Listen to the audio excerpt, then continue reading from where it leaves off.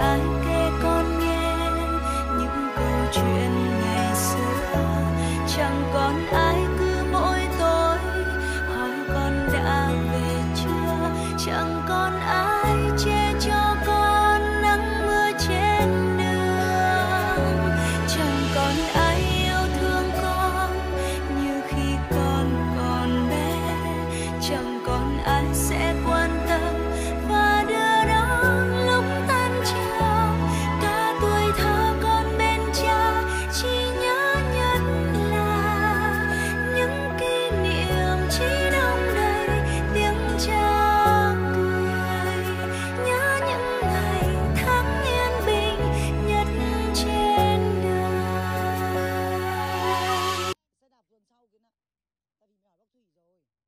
bác thủy phải chờ bác thủy ờ, chở đi. Tại vì là thứ bảy chủ nhật để cho con lựa luôn chứ bây giờ